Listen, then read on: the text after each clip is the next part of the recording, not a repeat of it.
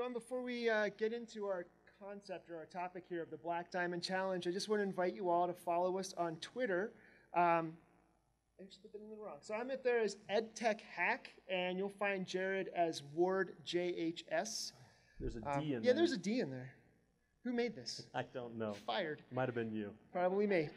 So, um, EdTech as an educational technology specialist. I'm new to Canyons, just got here a year ago from Maryland, and Jared's been here since the start. And Canvas is also something that's new to the Canyon School District, and we'd like to share with you uh, about how we got the people that are using it excited and motivated and involved with the product. So, I know you've probably heard a lot of presentations about tools that go with Canvas, and um, you know some of the tips and tricks. We want to talk mostly about people and how to get people using it.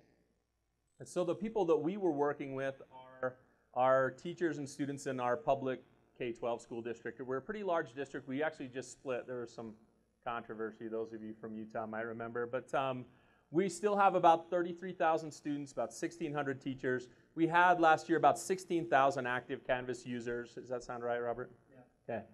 Um, our initial trainings, as we got started with Canvas, we knew we wouldn't be able to train the whole district all at once. It's just too big a group, and we're a team of about 20. So we started with a pilot group of about 20 teachers about two years ago now. Um, that pilot group of 20 teachers is now our Canvas evangelists in our schools, and they've been great to help train other teachers and work with our, uh, the, the other faculty on their staff. But at the beginning of last school year, we also started working with all of our language arts teachers, all of our science, uh, and all of our world languages teachers. So we added those groups, those 250 teachers, to specific trainings, and they came for one or two days of training throughout the school year. But our core group of 20 had eight sessions of, a, of full day training where we talked about blended learning with Canvas, blended learning, instructional design, as well as Canvas integration. So as we got started with that group of 20, we really, really wanted to focus on not just what Canvas can do, but what blended learning instruction looks like. Uh, what we don't want to have happen is have a teacher sit up at the front of the classroom and say, the information for today's lesson is all in Canvas. The Chromebooks are there. Go pick them up. If you have any questions, I'll be here. Come ask me. We don't want that to happen. We don't want poor instruction to seep into our classrooms because of the technology that we're bringing to them. Uh, so we've started to really focus more, and in the, in the coming years, we're going to talk a lot with our teachers about blended learning instructional design and make sure that they really understand what adding a technology piece like Canvas looks like in their classroom. All right, so you've probably heard those stories about professional development or great ideas that happen in the hallway. And if I could call this a great idea, I would say that this did happen right in the hallway. Um, Jared, Rachel, and I were kind of crossing paths and we were talking about how do we get teachers motivated to use Canvas and try new things.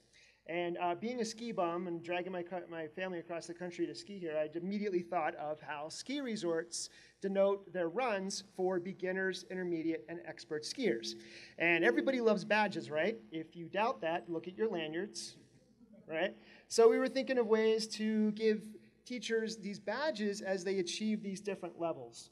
So, um, you know, you think about a first time user gets the green level, then as soon as they become more advanced, they get a blue square, and then a black diamond.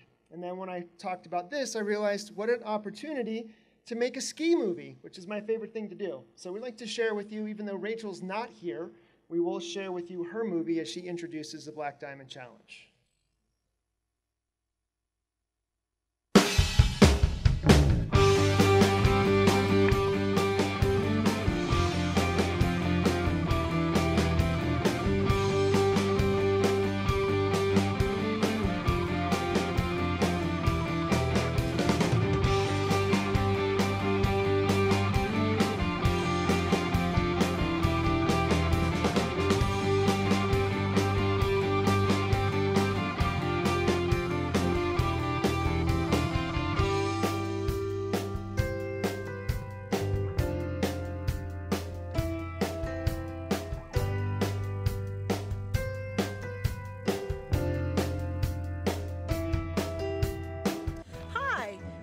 Excited to introduce to you the Canvas Black Diamond Challenge. a program inspired after the way ski resorts classify their trails. The green level is for those teachers just getting started with Canvas. Learn the fundamentals and match your classroom to the Canyons Canvas Style Guide. Once teachers are comfortable with the fundamentals of Canvas, they'll move on to the Blue Square Challenges and receive a Blue Square swag bag. Teachers who reach the Blue Square level are beginning to use Canvas for assignments and discussions and are posting course content for students to access when not at school. Black Diamond Canvas Challenge isn't a race. Take your time to learn each skill so that you can become an effective blended classroom teacher. Once you've received your blue square swag bag, time to move beyond the blues and to challenge yourself with the advanced features of Canvas. Moving up from a blue square to a black diamond means that you are starting to use Canvas regularly in your classroom for assignments and discussions, and you're starting to experiment with peer collaborations and using CSD docs for group projects. Sometimes you don't have the luxury of a trail map to help you get where you're going. Reach out to your ed tech for times when you need more help.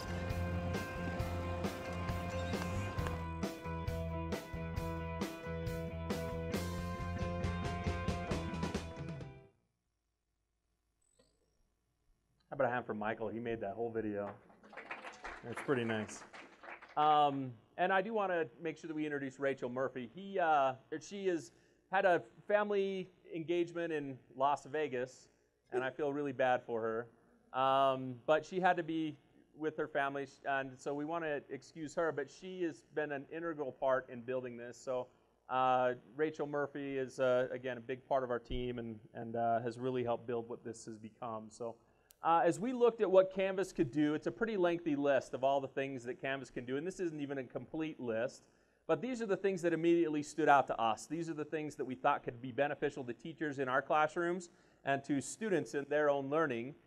And we wanted to whittle that list down so that it was something a little bit more manageable. And this is kind of what we came up with. The things that are marked in green were, the, again, the beginning level, kind of building your course, building Canvas as a class website. Uh, then we evolved to the blue items, and that's where a teacher is sending out assignments, maybe announcements, calendar events. They're communicating directly with the students, and the students are also beginning to communicate back with the teacher. They're submitting assignments, maybe engaging in discussions or, or sorry, comments about a certain assignment. Uh, so we whittled some of the things down that we knew we couldn't use in our classrooms, maybe weren't relevant in K-12. We also took some things out that uh, we knew we would want to focus on later, that we weren't quite ready for to teach. Um, you know, we were still learning Canvas as well as we built this. So this is the kind of the list of what we needed, and this is how it turned into the Canvas Challenge. Uh, became a checklist for teachers so that they could kind of self-assess and check off the things that they needed in their classes. Um, and all of this is on our website. It's all on our. Uh, we have what we call the Canvas Fast Track. That's our like self-guided training course as well as the foundation for all of the trainings that we do in Canvas. It's evolving, especially over the summer as Canvas makes changes. But you're welcome to access any of those things. We'll talk more about that in a minute. But each of these levels, we'll go through them individually, get a little closer shot so you can see them a little bit better. But at the different levels, they have tasks to check off. And again, it's, it's uh, what's important for us to communicate, I think, is that this isn't a tiered level of expertise with Canvas. Some of our teachers, I would say most of our teachers, when they work with Canvas, they're going to live at a blue level, and we're all okay with that. Uh, they're sharing assignments, they're engaging students, they might be adding discussions or some of the black diamond level elements. But what it is for us is it's a scaffolded experience for our training so that teachers can select the things that really work for them and move on in, at a pace or a, a methodology, pedagogy that works for them. So as we mentioned in the video, um, in order for people to grow, we have to step out of our comfort zone. And that can be a very scary thing for anybody, but especially for teachers when you're standing in front of 30 students and you're trying some technology that you might fumble with, but they're better at using than you are. So by scaffolding, we can create some basic skills and then build on them from there.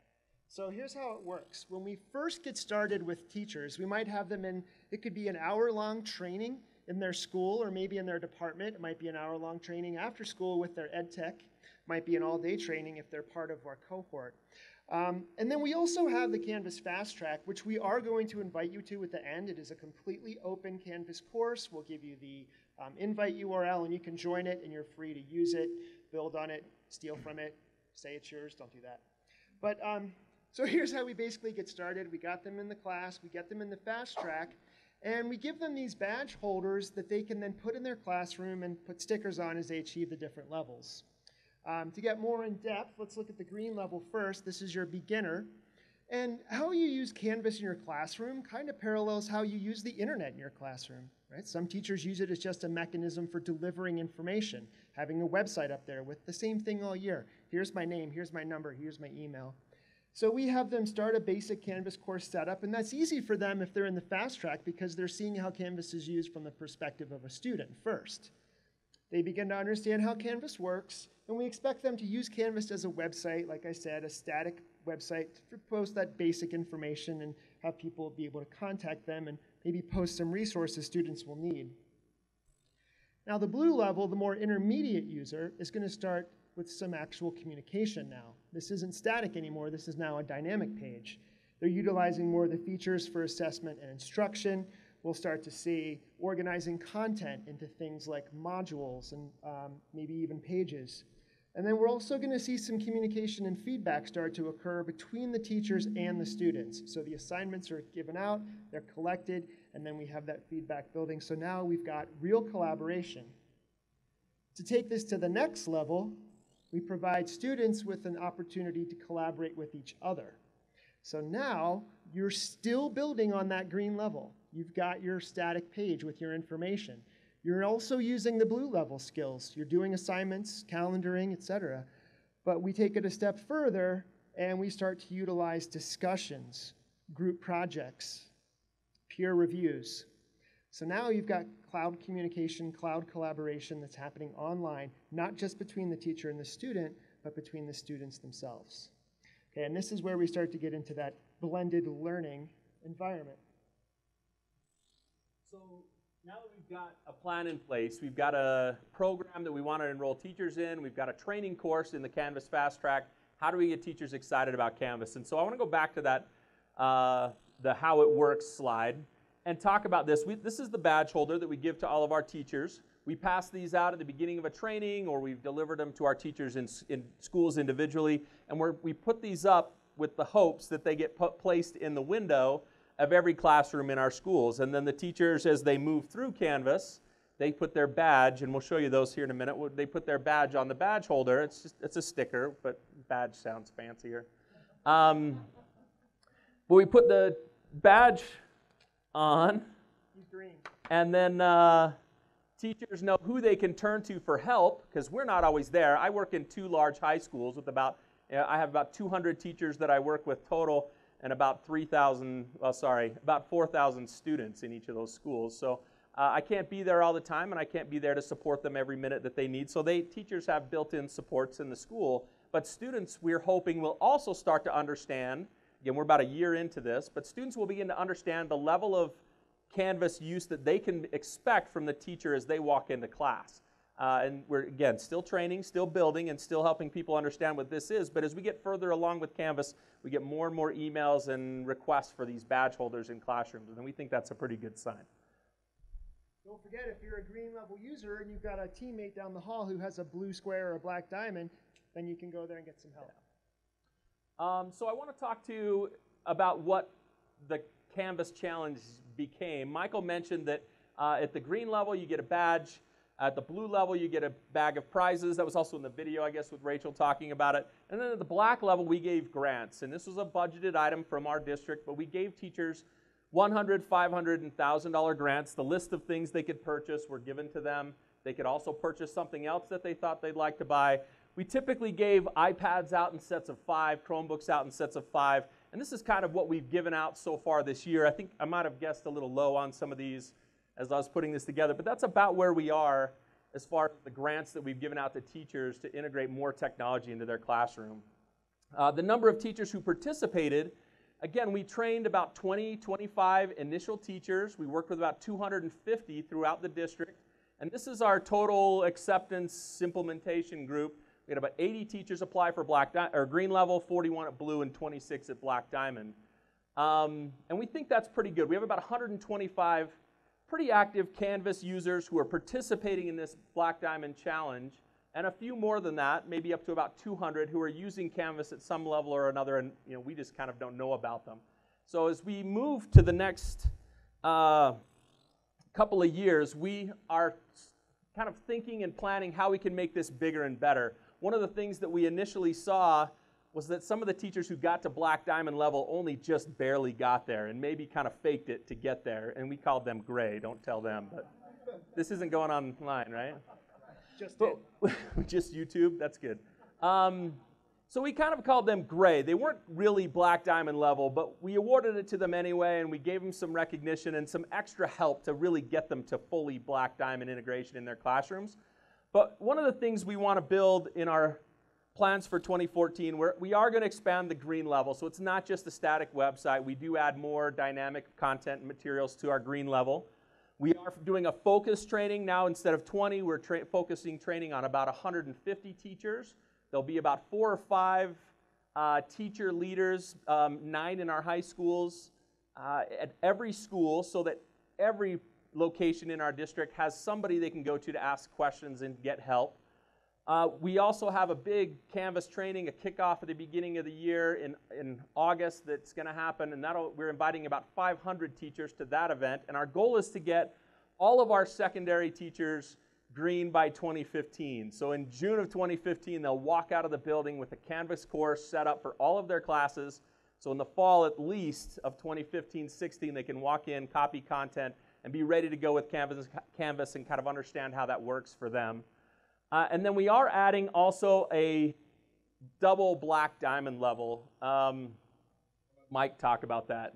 So if you uh, if, if you're ever on a black diamond run and then you throw some trees and some cliffs on it, you got double black diamond. So we need a level now for our black diamond teachers to aspire to, take it to the next level. And when you make the uh, acronym Blended Learning and Canvas K-12, black. That will be the name of our second course that we'll design this year for the users who are ready to go on to that next double black diamond level. Um, so That's good. We- build some awesome. Our, uh, our expectations are that the teachers will maintain black diamond level for a, a minimum of three months to reach double black diamond level. We're still building what this really looks like. Uh, the logo is pretty hot off the presses. We just built this course about a week ago, the course shell, and uh, so it, that's our logo, our design for now. It will probably change. Um, but what we wanted to have happen at this presentation was for us to share some ideas with you so you could go back and build something like this in your own schools. And that's what I want to talk about now. When we came to Instructure last year and we, we presented on Canvas for mobile, it was a lot of fun. We had a great time. We have that presentation. I think it's on YouTube as well, and we've got a great website you can go check out there.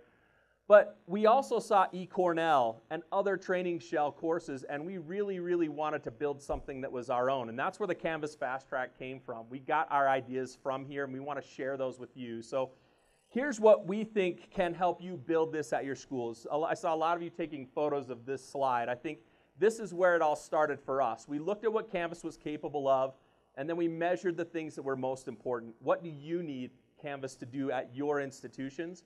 At K 12, it's something typically very different than at a university.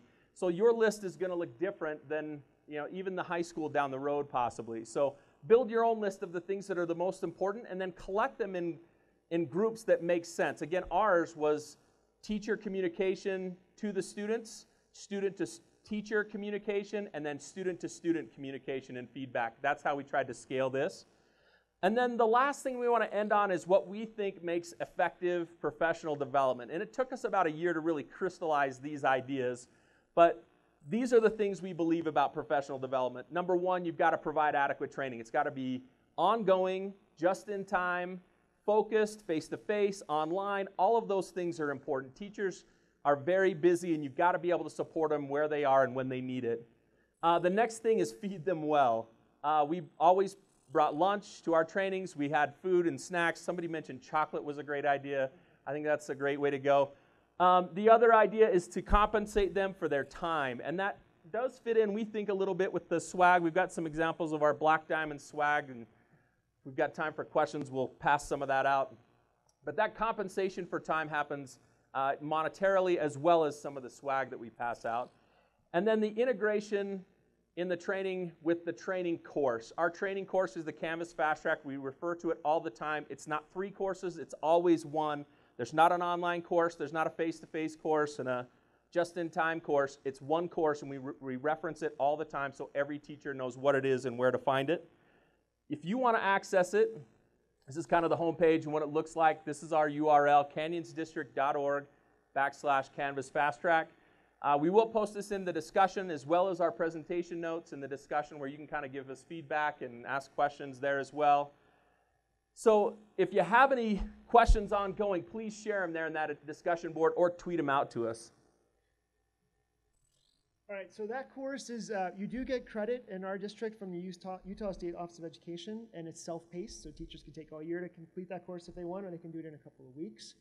Um, when we have these teachers trained and we have them at the Black Diamond level, we've got our agents of change. We've got our people within the schools who can be the catalyst to make things happen with Canvas in their schools and, and support the teachers that are using it.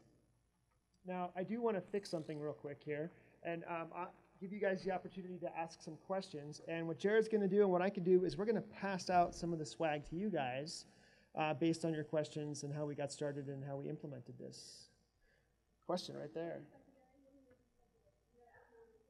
Uh, our our Okay, deployment right now. Oh, the question is, uh, are we only working with secondary? The answer, really short answer, is yes. Right now, our implementation is grades six through twelve. Uh, we do have some of our team that is writing proposals right now to go K through six, so that we can work with our elementaries as well. So it, it's coming, just hasn't happened yet. So, do you want a stylus or a lanyard or a clip? Um, yes, ma'am, in the back in the canvas sweatshirt. Fantastic. Do you have an iPad?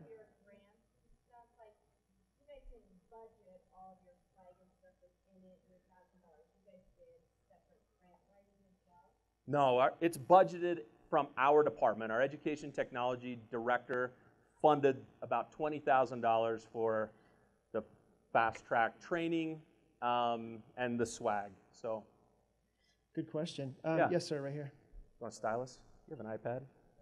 These are good ones. It's on. Oh, it was. Go ahead, and I'll repeat your question. So I saw you had to take monthly quizzes. Mm-hmm. Were teachers ever demoted? Um, the question is, have have we ever demoted anybody, like from blue level back to green? Yeah. No, I mean you No. couldn't go from blue back to green, but you can go from black to blue, and we did have that happen. Um, we had a teacher who was at the black level, and he applied for black again for another month, and uh, didn't make it. So we wouldn't say demoted, but he just wasn't maintaining that level of use. He did, wasn't regular, u- regularly using discussions, let's say. Um, so, yeah, Um, thanks. Whoa. Now it's on. Thank you. Cool. Use this with other professional development, not just Canvas? Um, do we use Canvas with or the Black Diamond Challenge? Uh, the, sort of the game. The different levels. No, we have not used it with other, Not but yet. we are looking at it that way because we have other things to implement like Google Docs and Google Apps for Educators. Exactly. Okay, another question right back there.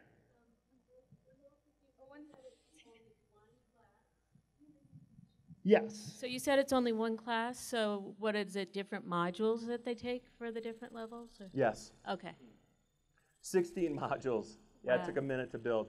Um, So, So, but the, the modules aren't necessarily tied to Black Diamond ideas. It's how to build pages, how to use discussions effectively, um, how to do peer reviews and other collaborations. So the how-tos are all there, and, it, and we try to form to ask it in the form of a question. How do I?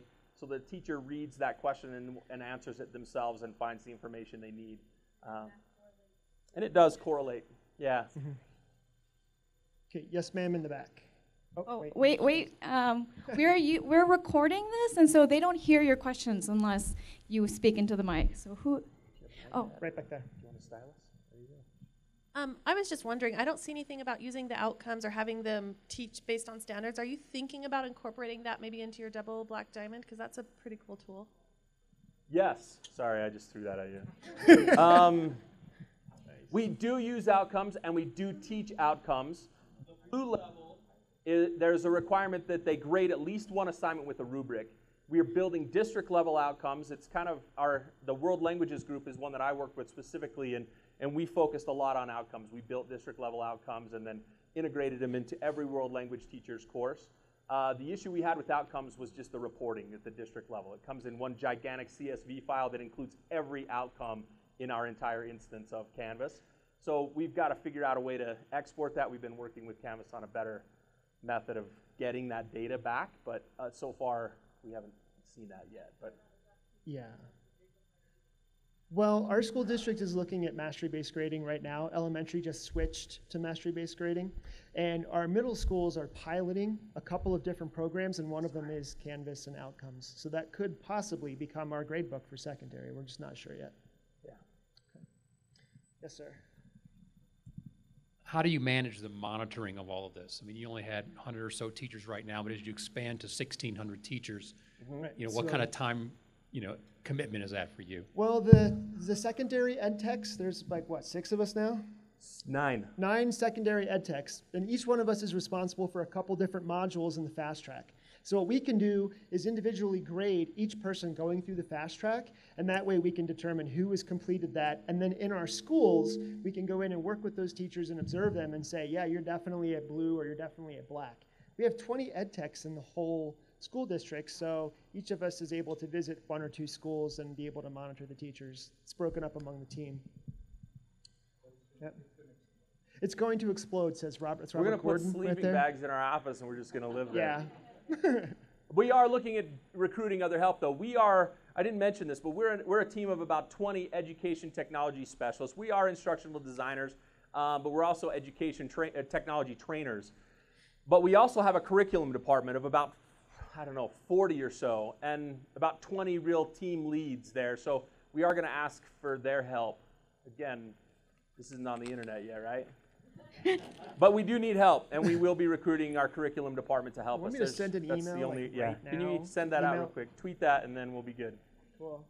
So I think we kind of need to wrap up. But if you have other questions, come on up. We have some swag again. This is kind of an example of our Black Diamond swag. We've got uh, pins, lanyards, clips, a nice mug that they get. Our favorite thing is that the blue level, it's really the big incentive for the blue level is the stylus pen flashlight, Flashlight, yeah. combo.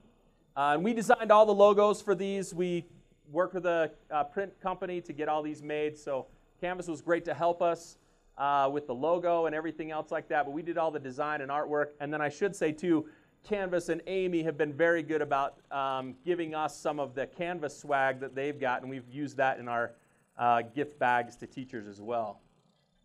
We also want to wrap up by promoting our Flip in Utah conference, which will be on Ah. August 12th and 13th at Jordan High School. You just Google Flip in Utah like that, it'll take you right to our page, and you can learn more about the presentations that will be there.